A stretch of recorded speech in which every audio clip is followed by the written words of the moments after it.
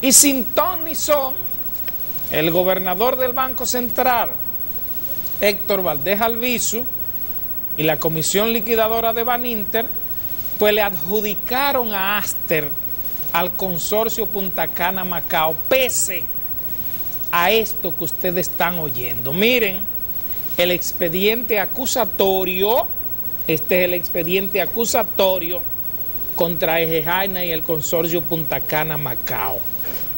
O sea, que uno no se explica cómo el Banco Central de la República Dominicana sencillamente dejó participar a una empresa con un expediente como este que le ha sometido el Fondo Patrimonial de las Empresas Públicas del Estado, mejor conocido como FOMPER.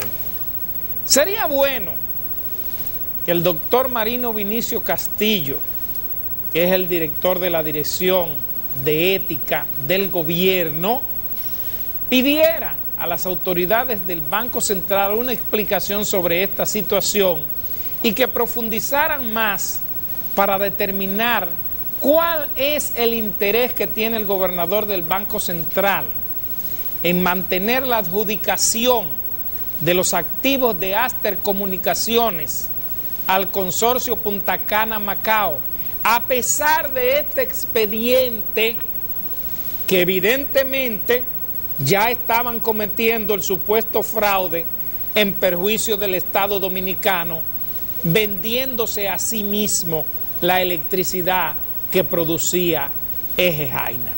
Es un buen tema para investigar y dejamos esto en manos del doctor Marino Vinicio Castillo.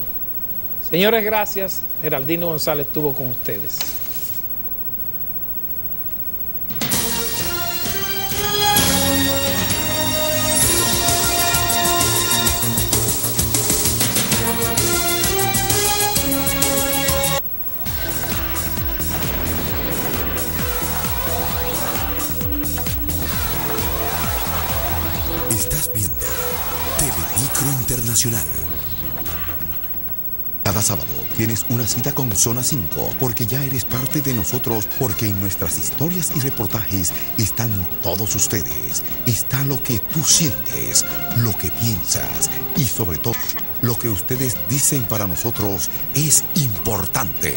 Zona 5 con Laura Castellanos. Zona 5, sábado por Telemicro Internacional. Espera este próximo domingo el desafío